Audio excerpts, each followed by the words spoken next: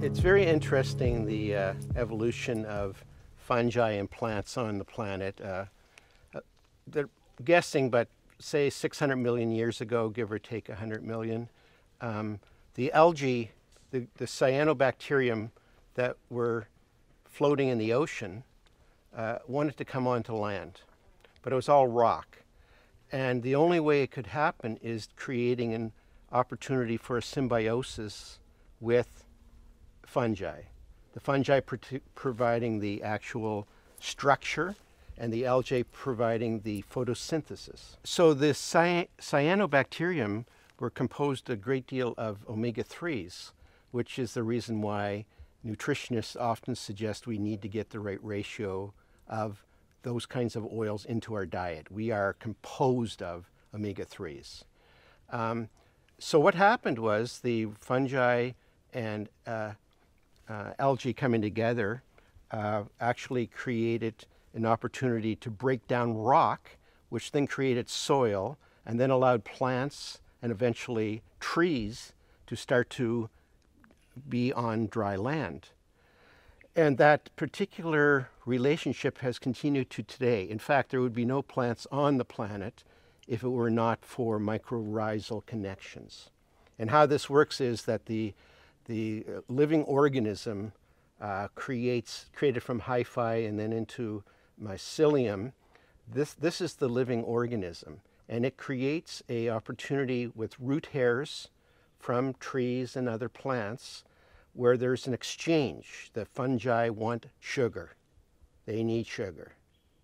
And the tree needs water and nutrients. And you're not taught this in school, but this is how it is they actually have a create an opportunity to help each other. It's not that they really, it's not a mutualistic thing in a sense, it's really hardcore bargaining. The tree says, Look, I need some water. And the fungi will go, Well, give me some sugar.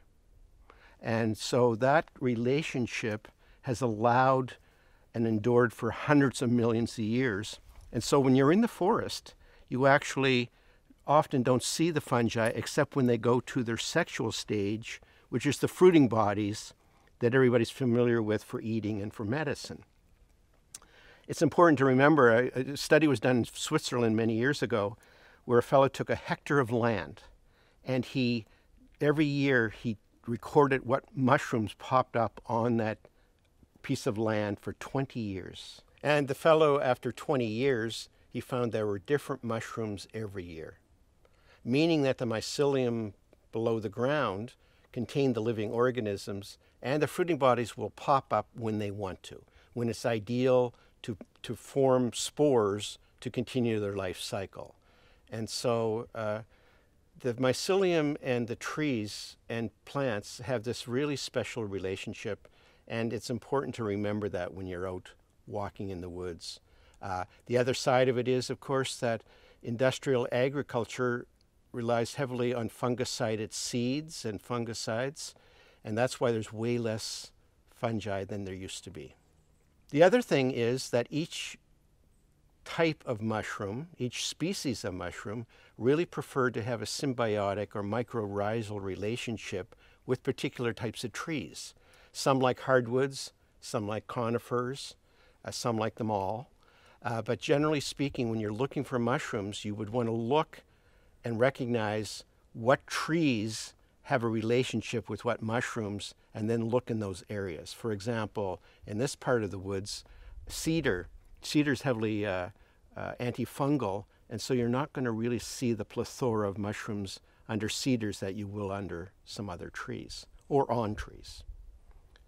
But speaking of mushrooms, right here on this stump where I'm standing, there are all kinds of what are known as xylaria.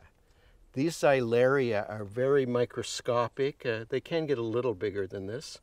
And they are a whole class of medicinal mushroom that are being investigated for their anti-tumor, their cardiovascular, their uh, respiratory, their immune functioning capabilities. And uh, in the future, you're going to see xylaria become much more prominent in the, in the fungal pharmacy.